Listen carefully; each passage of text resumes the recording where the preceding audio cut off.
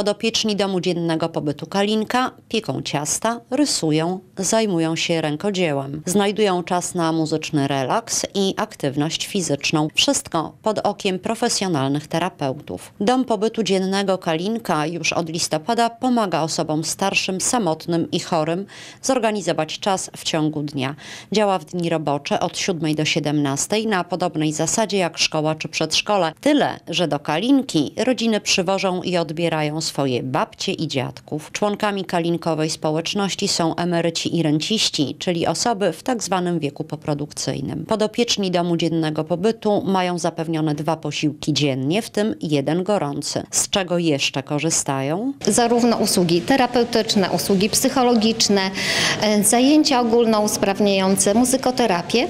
Dlatego też, że tak powiem, pracownie, tak, które widzimy tutaj za mną, tętnią życiem. Opiekunowie dwoją się i troją, by jak najlepiej spożytkować energię seniorów. Głównym powodem, dla którego 84-letnia Alicja Lenkowska korzysta z usług dziennej Kalinki, jest nuda. Jestem samotna i w domu jest smutno, a tu przychodzę, żeby być z koleżankami, mieć wesoło i mieć rozrywkę. W domu prowadziłam dom, mam mieszkanie ładne, ale w tej chwili zostałam sama.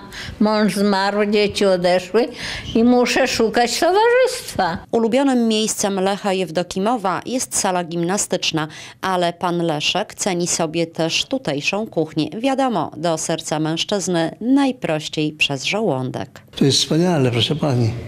Ja nie wiem, ja pierwszy raz jestem na takim czymś, ja nie wiem jak to się nazywa. Czy to pobyt, no ten pobyt powiem. To takiego nigdzie niczego nie spotkałem jak tu. Panie dyrektor, te panie, wszystkie to cudo, te kobiety. One powinny dostać medale złote za ich zachowanie. To jest coś pięknego, naprawdę. Dla- Ja, ja tam nie przesadzam w tym, tylko mówię, to co jest prawda. Nie chodzi tylko o mnie, ale w ogóle kto tu jest i z nami jest, to wszyscy chwalą, że jest bardzo dobre, jedzenie jest dobre.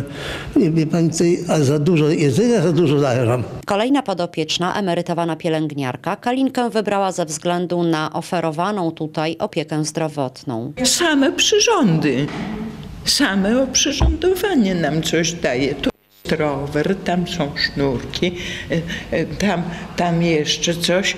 No, e, wiele różnych rzeczy brakuje. Na przykład ja mam broszurkę od pani neurolog, gdzie ma możliwość też robienia większej ilości różnych ćwiczeń, ale to są takie ćwiczenia, które ja mogę wykonywać w domu.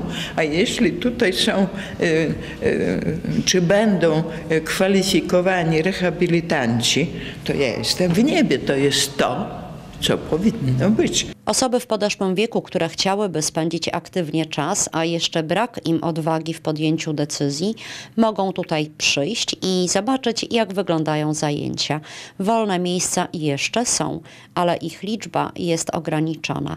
Warto również, by opiekunowie osób starszych rozważyli propozycję Kalinki, choćby po to, by z większym spokojem i pogodą ducha podchodzić do codziennej opieki nad seniorem.